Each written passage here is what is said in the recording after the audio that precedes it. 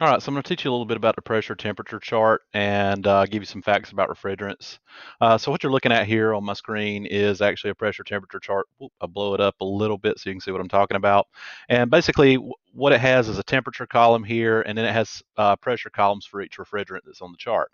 So just to make it easier, um, what they've done is put multiple refrigerants on here, but each refrigerant can, column can sort of be treated like its own chart with the exception of refrigerants who have uh, who exhibit temperature glide as a um,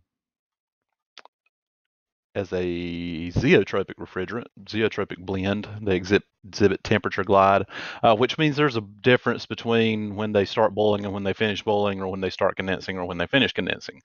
But anyway, most most refrigerants only exist in a liquid or gas state. That's to say, uh, they are fluids.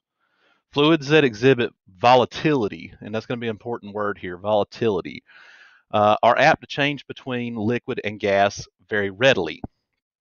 Refrigerants are volatile. In order for any volatile fluid to change state, it must absorb or release energy. The energy that refrigerants absorb and release is actually heat energy. And we can actually see this if we were going to boil water on a stove or something like that. Um, in order for refrigerants to be kept as a liquid, they must be stored in a cylinder and they must be stored under pressure. Now, they generate their own pressure. Uh, and this is because of refrigerant's low boiling point.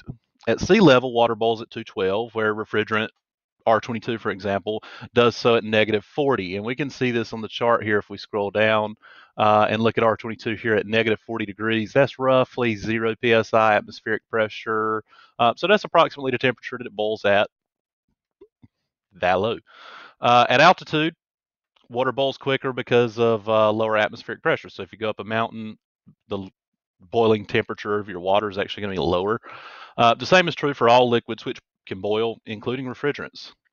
Increasing pressure on a refrigerant in an HVAC system raises its boiling point, while decreasing the pressure on it lowers its boiling point. So if we increase the pressure, we raise the boiling point, decrease the pressure, decrease the boiling point. It's a direct relationship. By modifying the pressures and having a low pressure side of the system and a high pressure side of the system, we can create a system which uses a cycle of compression and expansion to actually force these refrigerants to boil and condense in a controlled condition. Uh, remember that refrigerants absorb and release a lot of heat energy when they boil and condense.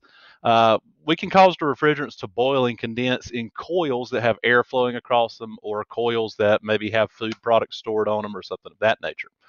Um, the boiling actually absorbs the heat from surrounding air or product, uh, which is forced across the coil in an air conditioning system in this case.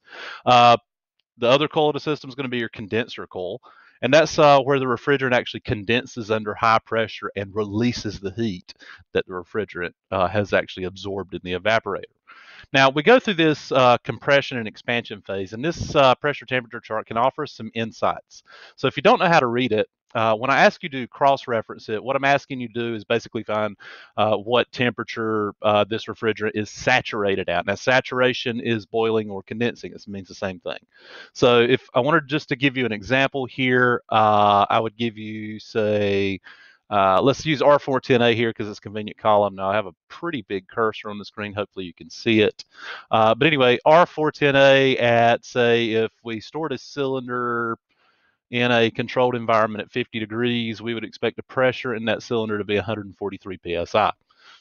now you see what's going on here. Uh, as temperature increases, the pressure within that cylinder will also increase because the refrigerant is actually boiling off to pressurize that cylinder.